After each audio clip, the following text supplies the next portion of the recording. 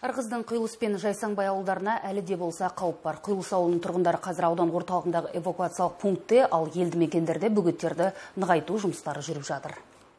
Тасыған Торғай өзені Ырғыздың құйылысы мен Жайсаңбайына жақындап келеді. Облыстық төтенше жағдай департаменті мамандарының хабарлауынша, өткен тәулікке қарағанда өзеннің деңгейі күніне 4-5 сантиметрге дейін төмендеген. Алайда бұл қауіп жоқ дегенді білдірмейді. Бізде қазір облыс бойынша бақылауда ырғыз ауданы болып келеді. Ырғыз ауданында су басу қаупі әлі сақталуда.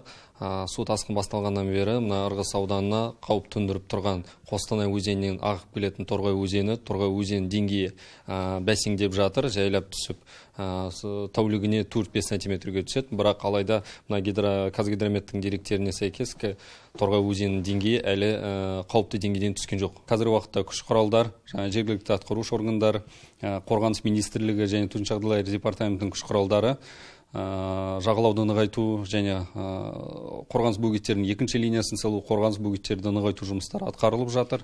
Жалпы аймақтағы ахуал тұрақты қауіп төніп тұрған жоқ. Жауапты мамандар су тасқынының екінші толқынына қатысты сұраққа да жауап берді. Қазіргі уақыт уақытта облыс бойынша су тасқын жағдайы қалыптанды тұрақталды. Батыс қазақстан облысынан үлкен су бізге келмейді. Өйткені батыс қазақстан облысында қазір қауіп жайық өзенінен төніп тұр. Жайық өзені ол батыс қазақстан облысы арқылы атырау, атырау облысына қарай ағады. Бүгінгі таңда мамыр нұра белшер құйылыс ауылдарының 1280 тұрғыны эвакуацияланды.